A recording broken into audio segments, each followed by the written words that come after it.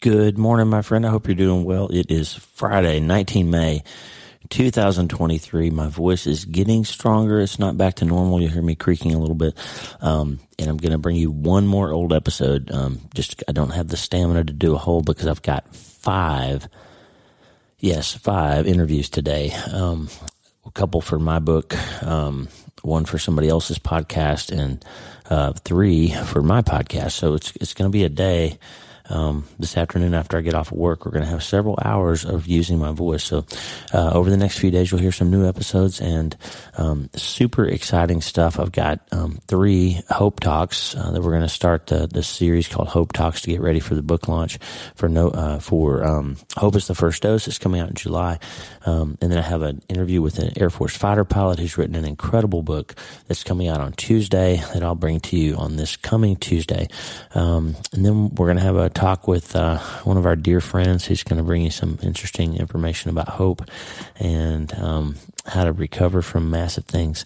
And I'm just excited. Uh, I'm, i just decided, you know, it's time to go for it. I'm, I'm croaky and not quite right, but I've got to get my voice back because I'm recording this audiobook, Lord willing. Um, week from Wednesday will be starting. So keep praying that my voice will be fully clear, no coughing, no trouble. Uh, and uh, we appreciate the prayers and the support there, and uh, that we'll get through today. Uh, in the meantime, the the decision. Uh, that I'm bringing you this episode today is is because the Air Force fighter pilot's book is all about um, decision making. It's, it's about how to, it's, it's, in fact, it's called the art of clear thinking. Uh, and it's about how to make good decisions under great stress. And, and, it's a tremendous book. I just had an opportunity to read the advanced copy, um, over this past week. And I'm, I'm super excited to get to talk to him today and bring that story to you. But I've written before and recorded before about uh, something called a Hobson's choice. And Hobson's choices are these times in life when we have to take something or leave it. And Lisa and I are in the midst of kind of a situation in our personal life that we're dealing with um, some big decisions that we're going to have to make uh, based on the behavior of other people. And sometimes people put you in a box where you've got to make a choice.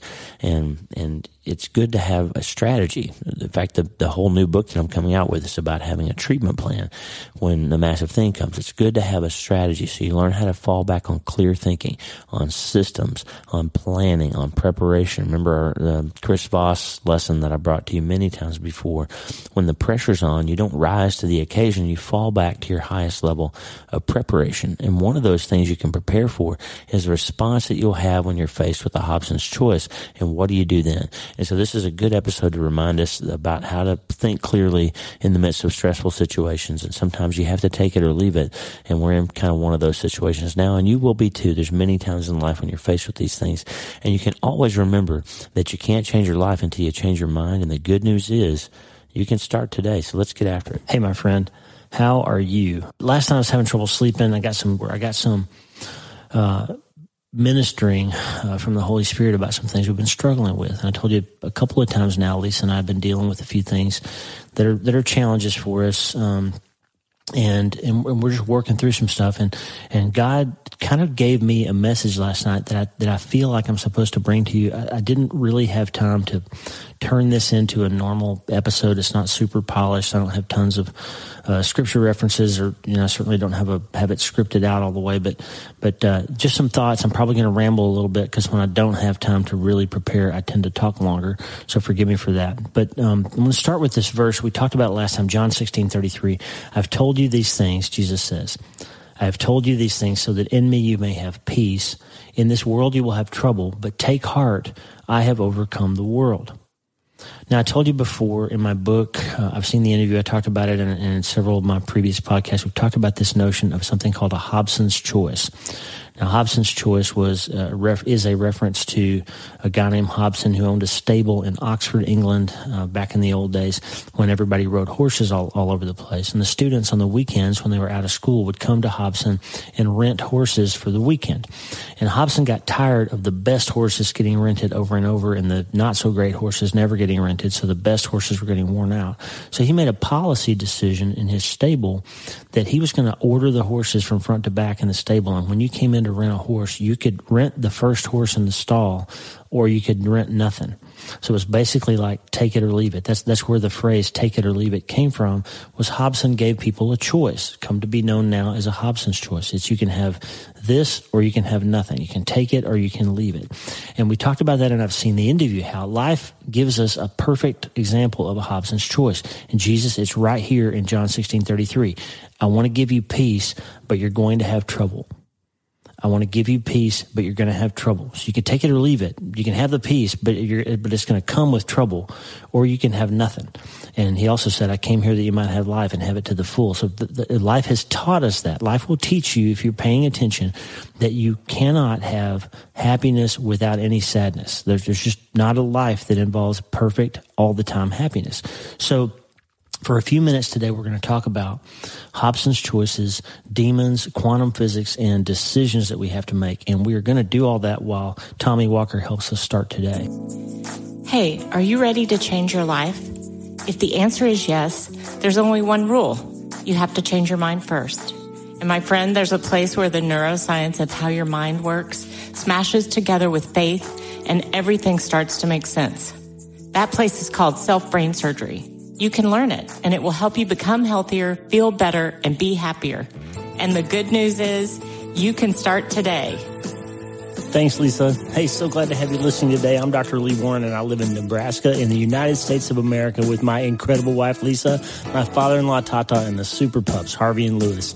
I'm a neurosurgeon and an author, and I'm here to help you harness neuroscience, the power of your brain, faith, the power of your spirit, and good old common sense to help you lead a healthier, better, happier life. Listen, friend, you can't change your life until you change your mind, and I'm here to help you learn the art of self brain surgery to get it done. If you like the show, please subscribe so you never miss an episode and tell your friends about it. If you tell two or three friends this podcast was helpful to you, imagine how much good we can all do around the world together. I'm Dr. Lee Warren and I'm here to help you change your mind so you can change your life.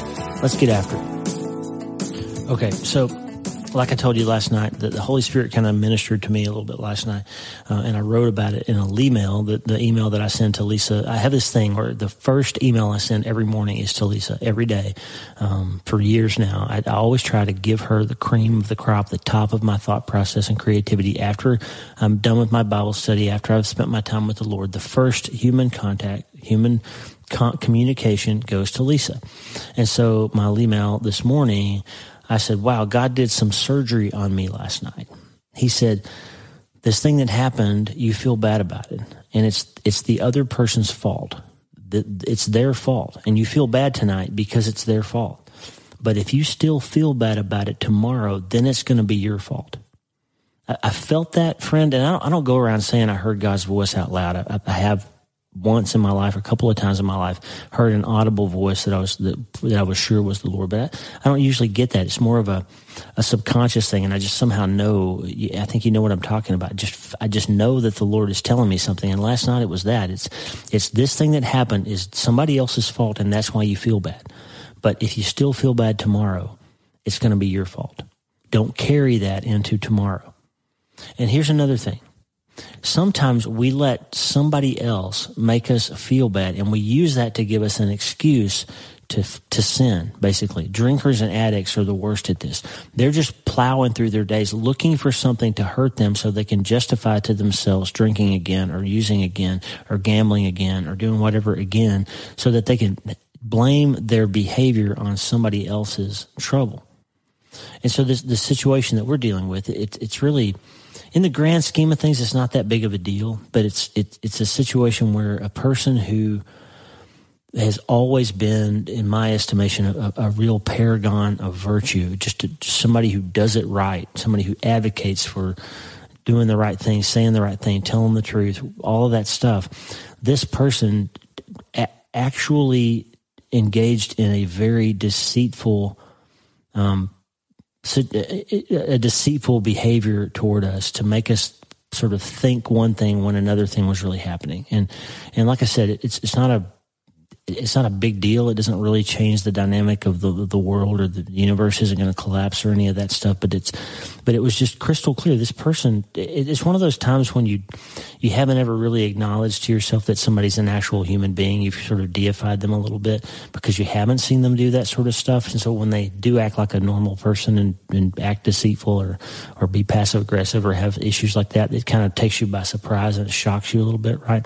This is one of the reasons why pastors who fall public publicly, um, like the Ravi Zacharias situation last year. This is one of the reasons that that's so powerfully damaging to the kingdom is because we people forget that they're just people too, and we when they sin like we do, it it it knocks us out. It nukes us. It shouldn't. It shouldn't surprise us when people act like people, right? But so this deal happened and it was deceptive and it was just it wasn't even necessary. That's the thing. The situation we were involved in, the, the, deceit didn't need to happen, and it just it just made us feel bad. Do you know what I mean? Like when somebody tells you a lie, and it's like you didn't need to lie to me right then. I would would have still done the right thing by you. You didn't have to fib to me.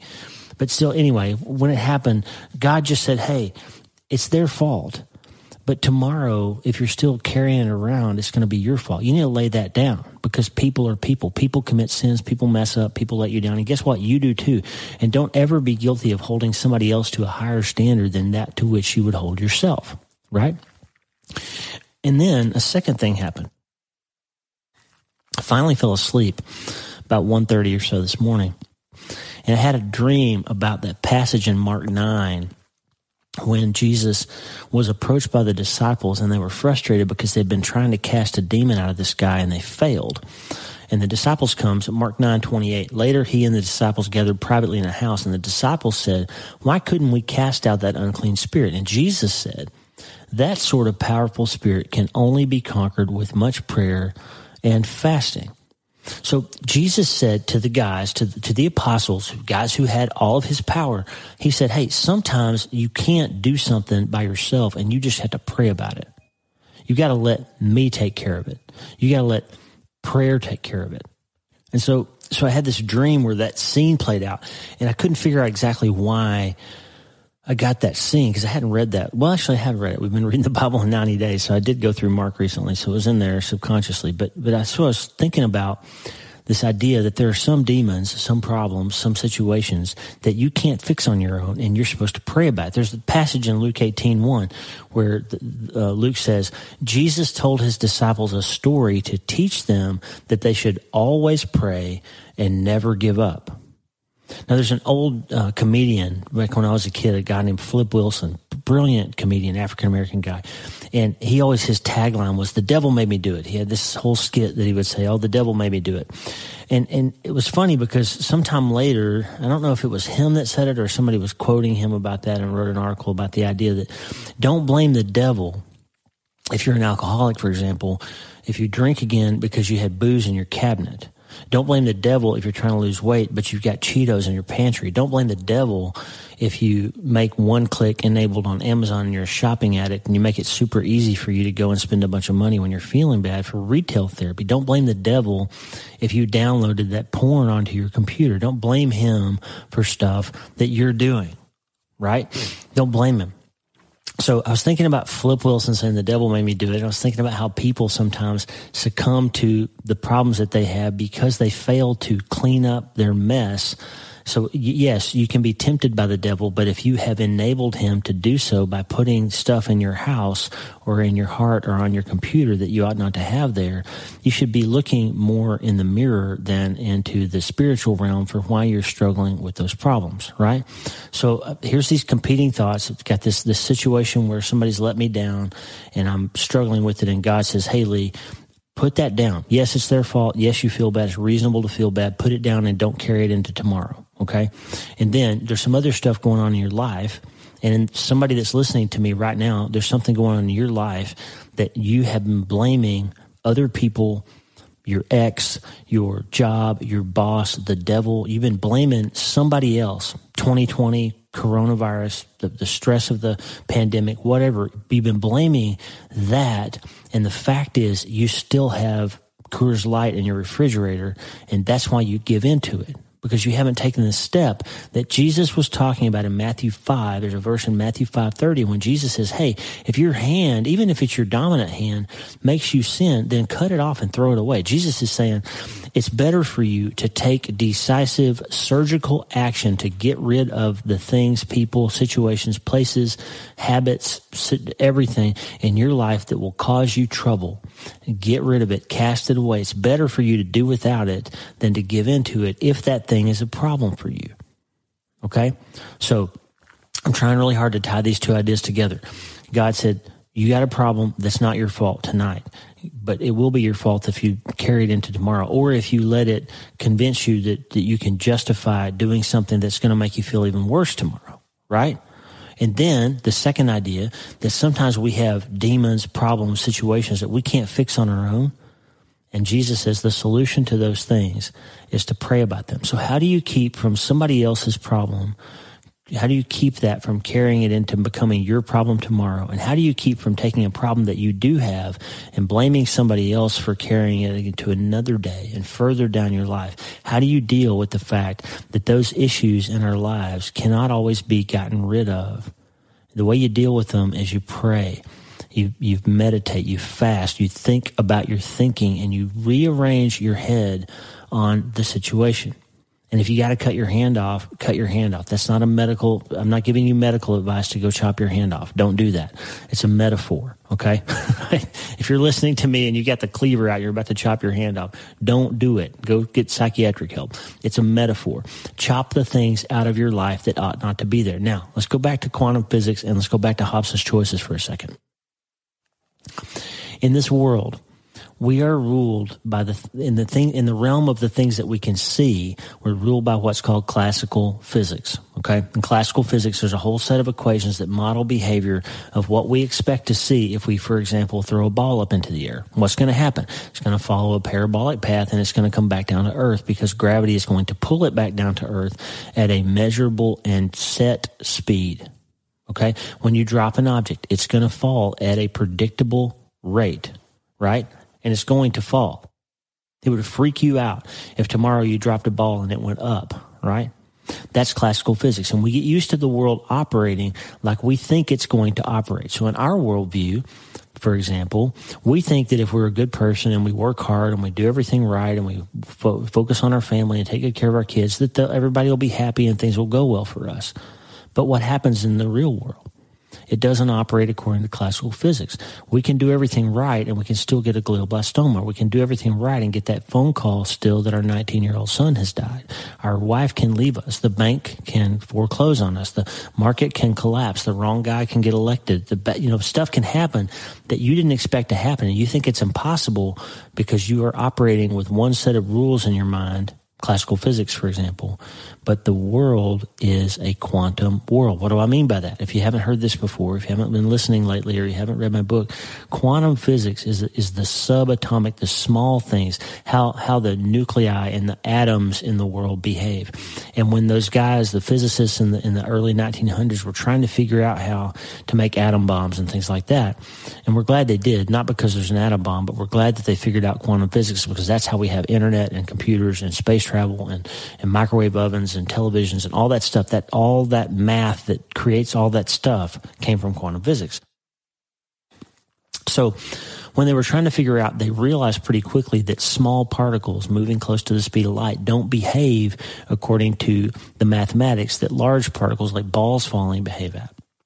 What they figured out is that there's weird things that happen at the quantum level, like an electron can basically be in two places at once. So that's impossible for me to be in two places at once, right? But an electron can be, or at least when you try to model its behavior mathematically, that's what basically you have to account for, is it essentially can be in two places at once.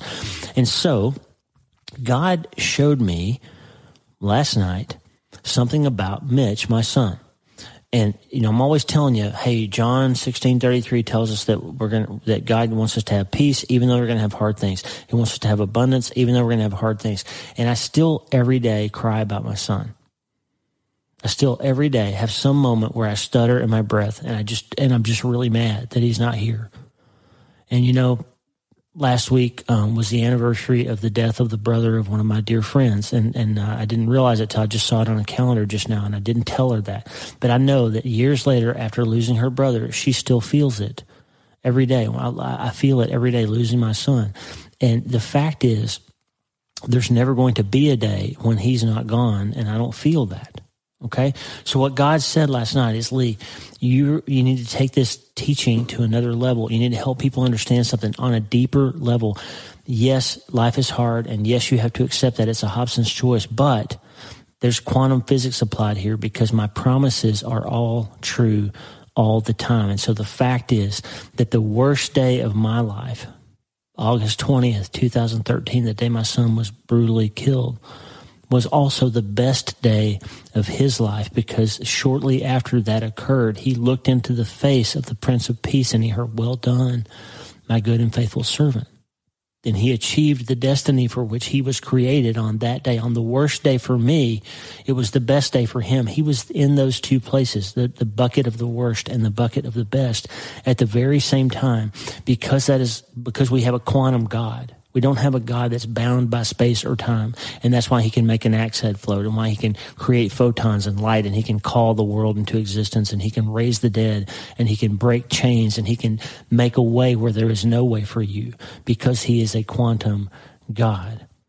And so it's an, it's a Hobson's choice. I can believe that Mitch's dying was horrible and that it was the best thing ever for him and that Romans 8:28 is really true that God can make something good out of it because if you're hearing this right now and your life is in trouble and you're finding some kind of hope because of what I'm saying into this microphone in Nebraska in the United States then the fact is that I'm speaking these words because I lost my son, and that's what motivated me to get this out there and do this thing. And so he would be happy to know that us losing him motivated us to do something to try to help other people. And if you're benefited by this, please let me know because you're proving the point that yes, life is a Hobson's choice and Mitch's dying was worse and the best at the same time. And that God kept his promise that all things will work together for some good for those that love the Lord. I can believe that. Or here's the other choice. And this is your choice today, friend. I can believe all those things and I can, I can somehow manage to find joy and purpose and meaning in my life despite the hard things. Or I can wallow in misery and sorrow for the rest of my days as a bereaved dad. I could say, you know what? I'm going to be in a support group every week. I'm going to drink too much. I'm probably going to lose my wife. I'm just going to sit in this pain and I'm going to roll in it and I'm going to bathe myself in it and I'm going to stay there in that role of a bereaved father for the rest of my life. And that's what's going to happen. I could do that if I couldn't accept the Hobson's choice.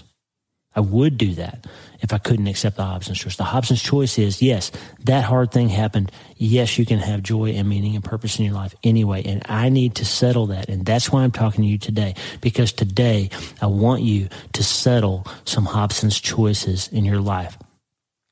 There's a verse in Hebrews chapter 12 that starts 1 through 4, and it goes like this Therefore, since we are surrounded by such a great cloud of witnesses, let us throw off everything that hinders and the sin that so easily entangles, and let us run with perseverance the race marked out for us, fixing our eyes on Jesus, the pioneer and perfecter of faith. For the joy set before him, he endured the cross, scorning its shame, and sat down at the right hand of the throne of God.